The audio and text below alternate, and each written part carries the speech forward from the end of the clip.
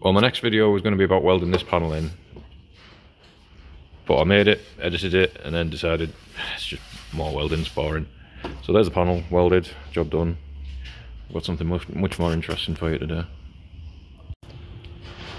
Well, the next step in this restoration is to make one of these, or rather two of these, because I believe it's the same on the other side. It's an identical press in each side. I could just hammer it out, but it'd take a while. I mean, I could make it out of three pieces of metal and weld them together, but it's not the right way to do it, and it's not how I've done the rest of the car, so... What I'm thinking is I'm going to make a custom press for it to use in my vise.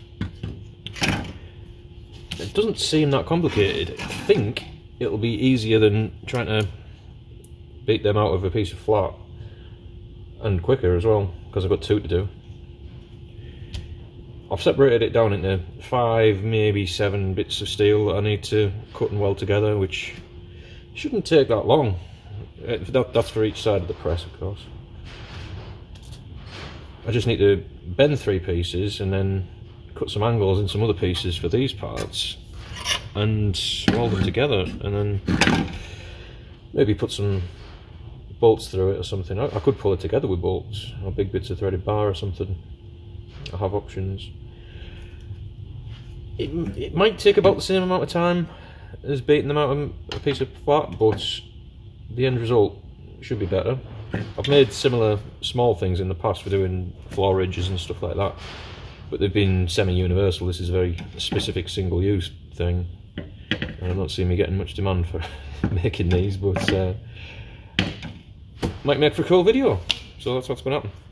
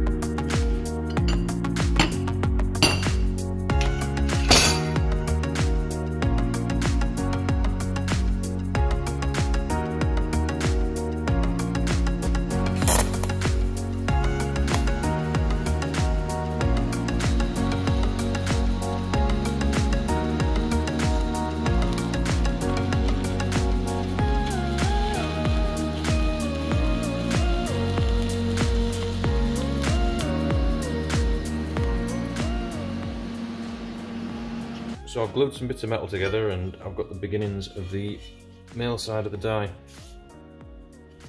I kind of like the way that looks. And if you can tell, that would basically be the underside of that pressing.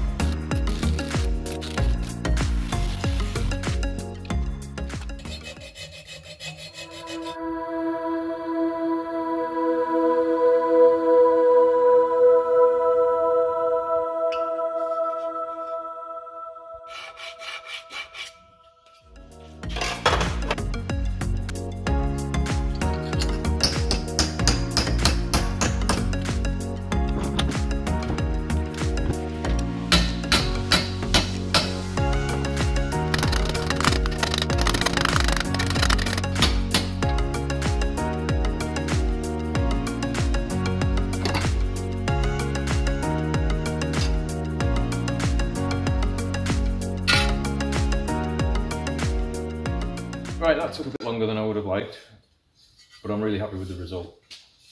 It's very professional looking, looks like a panel. The first attempt typically turned out better, but was a bit narrow where the bolts need to be. So that's the replacement. Or rather what it's replacing. This is the mould I made, dies I made to do it. A fairly straightforward shape, mostly just straight lines and angles, no no compound curves at all. So I was able to make it out of flat plate. And yeah, I haven't used anything particularly special to make this. Um, you could do it with a MIG welder and maybe a oxyacetylene, well, oxypropane torch to do the bending. Looks the part.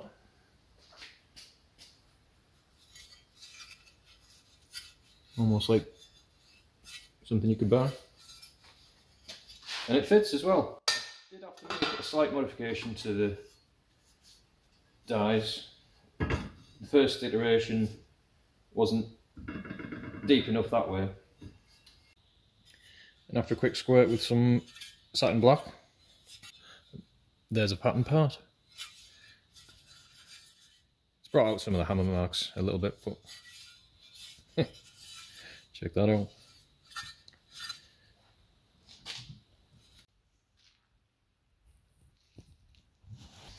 Proper panel pressing dies are CNC machined out of big chunks. A CNC machined out of big chunks of uh, steel. Big solid lumps, huge things, with many, many tons. And that's how you can get all the curves like rear quarters and stuff like that. Obviously this is much more simple, I'm not suggesting you go and make your own rear quarter dies. But for floor, floor pressings and things where there's lots of straight lines and angles and things, it's, a, it's definitely a good way to go. Get a much better result and a stronger panel as well by pressing it. If this was a proper production die, it would probably have punches in for the holes and it would have all the little ridges in that I have to put in afterwards. And it would be used on many thousands of ton worth of press, which I don't have. I've got a vise and a big G-clamp and a hammer. And there we have it on the car. I'm really proud of that. Some of my best work. Gaps are all nice and tight all over. Look prettier before the welding and grinding, but this bit's still original around here. original metal finish. Not even been hammered. It's added a lot of strength into the car as well. Before that was on, the, the floor used to flex there. it's completely solid now. It's taken that structure and merged it in with all the bulkhead reinforcement and everything and soon to be chassis leg. It's added a lot of strength into the car. It was an important piece that it controls the the flow of forces from an upright position to horizontal position of the floor, a direction rather. But yeah, I really like that, and it's uh, sounding solid now. Can tell by the pitch of the hammer. Yeah, custom pressing on the car from something like that to to that. So yeah, thanks for watching. See you next time.